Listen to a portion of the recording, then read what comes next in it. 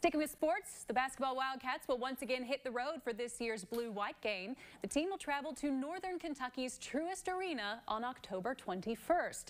Tickets to the iconic scrimmage go on sale tomorrow at 10 a.m. Prices range from $10 to $25 with all revenue benefiting the Team Eastern Kentucky Relief Fund and the Team Western Kentucky Tornado Relief Fund.